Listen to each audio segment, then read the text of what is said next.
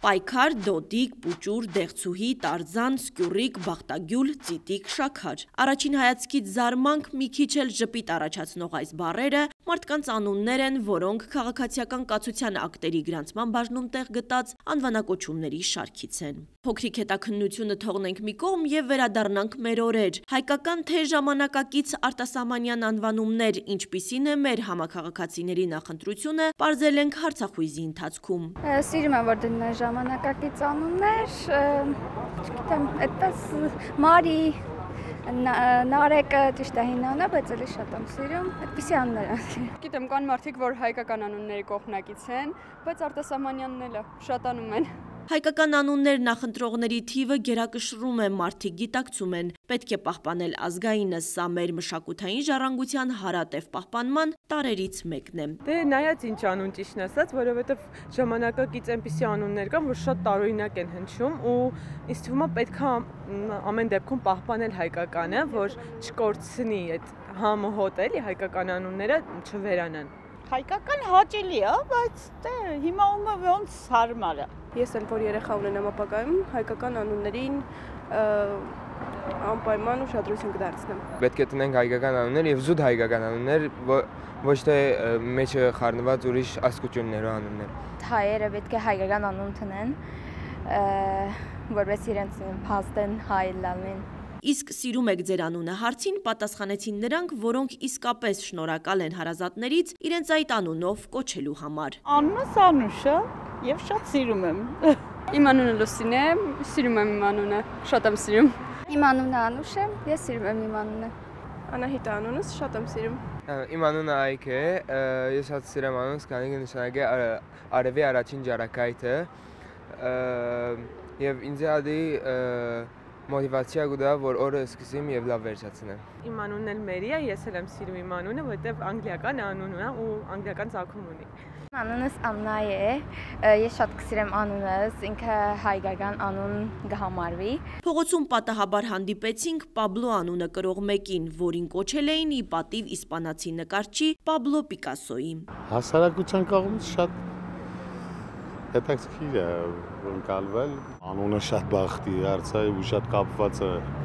անունը մարդու կյանքի հետ։ Մարդիկ, որոնք չեն սիրում իրենց անունը, չցանկացան նույնիսկ տեսախցիկի արչև խոսել։ Անվան ոչ ճիշտ ընտրությունը հոգեբանական բարդույթ է առաջացրել նրանց մոտ։ Լավ եւ վատ անուններ գոյություն չունեն, ասում է հոգեբանը։ Մարդիկ կան օրինակ, որ կարծում են իրենց անունը փոխելով կփոխվի նաեւ իրենց կյանքի ընթացքը եւ կա նմանատիպ դեպքեր, եւ որ փոխում է եւ փոխում է կյանքի ընթացքում, բայց դա սեփական անձի ընկալումն է, սեփական մարդու կատարած փոփոխություններն են, իսկ անունը օբյեկտիվորեն մարդու վրա, կյանքի վրա, չի կարող որևէ ազդեցություն ունենալ։ Ավանդական հայկական ընտանիքում կա ձևավորված ավանդույթ թորնիկը պետք է կրի տատիկ պապիկի անունը։ Հոգեբանի խոսքով դեպքերը շատ են, երբ նորածնին կնքում են վաղամահ հարազատի անունով։ Սա երեխայի ճակատագրի վրա ոչ մի բացասական ազդեցություն չի ունենա, եթե փոքրիկին անընդհատ չնմանեցնեն մահացածին։ Եթե մահացած հարազատի անունը դնում է շրջապատը եւ փորձում է նույնացնել մահացած մարդու անձնային գծերը վերագրել այդ երեխային, տեսնել այդ անձի վերածնունդը նորացնի միջոցով, այդ դա կարող է խնդրահարույց լինել եւ եթե երեխային անդադ պատմում են, վերագրում են եւ ասում են, որ դու նման ես իրեն այս այս այս գծերով եւ այլն, օբյեկտիվ կամ ոչ օբյեկտիվ, երեխան ինքը նույնպես կարող է նույնացվել եւ դա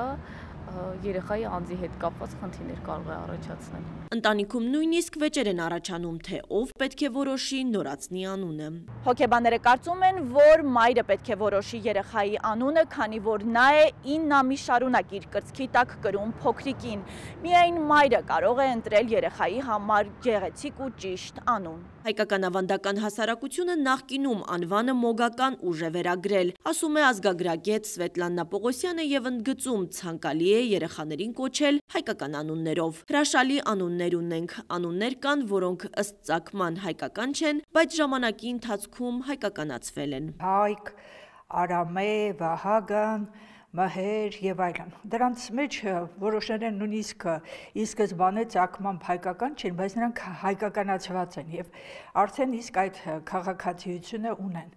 Օրինակ տղա տղաներին հատկապես անցյալում նմանը նմանով առաջացնելու, այսինքն որպիսի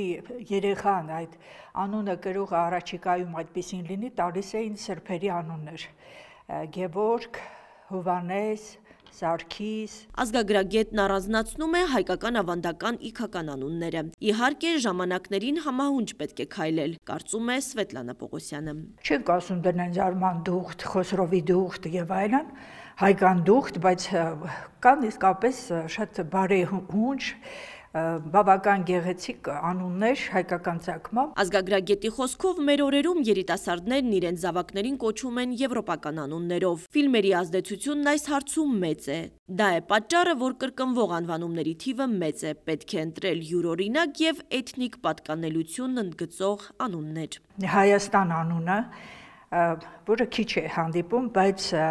Արևելյան Հայաստանում, հատկապես Հայաստանի Հանրապետությունում այդ անունը տալիս են աղջիկներին։ Հայաստան շատ պարտավորեցնող անուն է, բայց